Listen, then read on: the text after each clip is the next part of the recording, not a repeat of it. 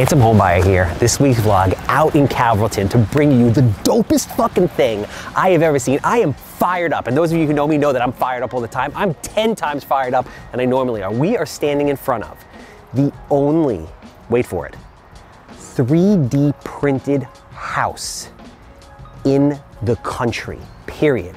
Good buddy of mine has the patent, created this system to 3D print anything, but he is doing houses.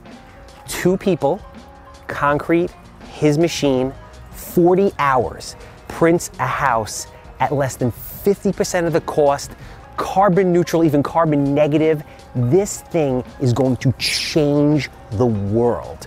We are here with the COO right now. He's going to take us on a little tour through the house. We're going to talk to him about the technology, what to expect, what they've been doing, what's coming in the future. I am fucking fired up. Come inside. Let's go check it out.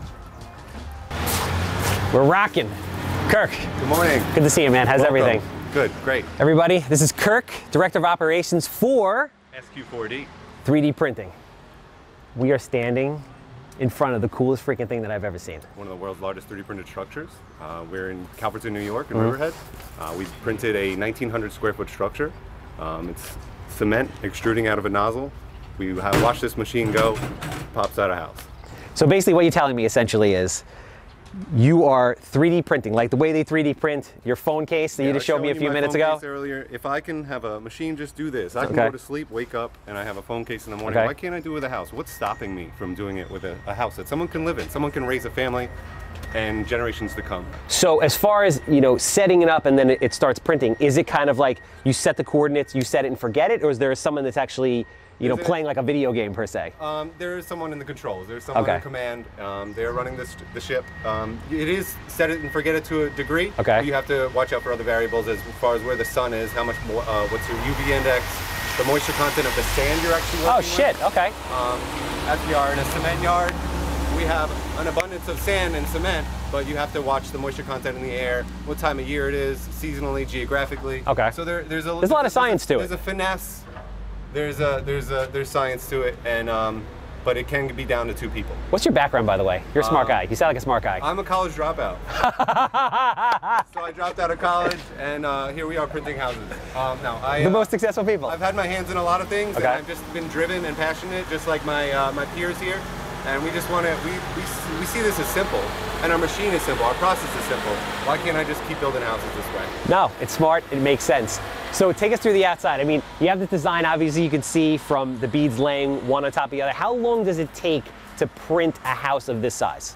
We, we printed these walls in 48 print hours.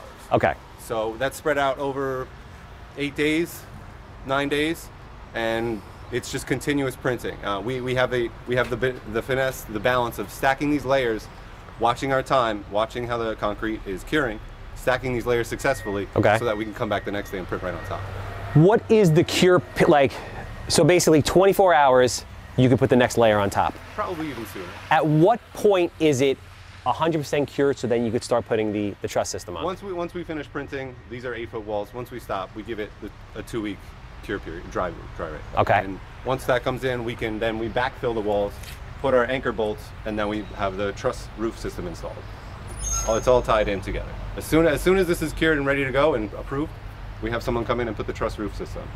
It's another piece to the puzzle. Absolutely awesome. Can we uh, can we go inside take a little tour? Take a tour. Awesome. Appreciate it.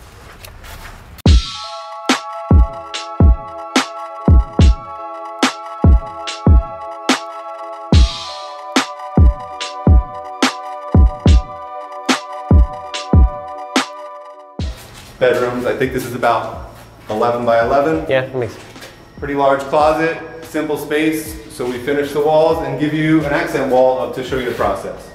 So we think that looks pretty cool. And it's, it's, a, it's a nice touch to make you feel like you're, you're still in a home, but this home is 3D printed. Bro, this is I, I'm buying a house in Shirley right now. Three bedroom, one bathroom, no basement. This is literally the exact house. One, two, three bedrooms, all good size. All tied into a common bath, pretty good sized bathroom. You can have your normal bathtub or we can create something custom. And it's, it's, it's basic, but it, it fills your needs and it's, it's a cheap way to build. So this is your master, it's a nice sized windows, nice sized closet. It's, it's simple living space, but it's, it's been affordable and and a, and a fast way to build. So for those people that don't understand exactly what a truss system is and how you know easy, inexpensive, and, and how it speeds up the build, can you just explain that a little bit to people? Okay, so the truss system is, is pre-engineered on off-site based on our building plans, and it comes together like a puzzle. Yeah. Um, you, you set up all your, your, your rafters and your truss connections. You can line them up piece by piece and just kind of jig it out, and it goes up very quickly. It's, it's timber, it's, it's light, it's cheaper than uh, a normal roof system that you would put in, and it, it was done in uh, maybe two days. The one thing I'm curious about also is obviously it takes a shit ton of concrete to print this thing. You have two people. How do, how do you keep feeding the concrete the mix to make sure that it's the proper proportion? How does that work exactly? So that, that's very important. So I'm going to draw a comparison to the plastic 3D printers. You Okay. buy a roll of filament. It almost looks like weed whacker wire. Okay, yes. Um, you put that on. You set that your printer up, and you're you're extruding plastic. You're melting it. You're extruding it like a hot glue gun going around. Yep. The concrete printer is somewhat the same, but a little different. But we need to we need to have that control factor. So you're getting a pre-manufactured roll of filament. Mm-hmm. I need to make the concrete just as controlled. So we use a, a dry batch plant. We mix the concrete on site Okay. to whatever specifications we find that are necessary.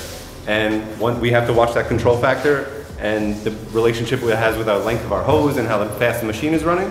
And once we're in control of that, we can let it go. You, you, di- you dial it in, you get, you get it right based on your weather conditions, and you go. So getting that control factor is huge, and that's only going to be optimized down the line with a, with a, a, a special blend. Kirk, thank you very much. I really appreciate the tour. Unbelievable, mind blowing, game changing design. Super proud of you guys. I can't wait to see the next iteration. If people are interested in following along, seeing what you're doing, possibly working with you, possibly building something down the road when you guys are ready, how do people find you? How do they get in touch with you? Um, you could just Google SQ4D or largest 3D printed structure. We're, we're right there. Um, we're, we're driving towards the future. Um, one of my favorite sayings is rocket ships don't have rear view mirrors because we're just going. We're just going. Um, I can't wait to invite you to the next house Oh, I'm pumped to see it. The next one's gonna be in Riverhead. right around the corner. Beautiful. Handsome home buyer in Calverton with my man Kirk in front of the first 3D printed home in America. You saw it here first. Thanks, man. Appreciate your Thanks, time.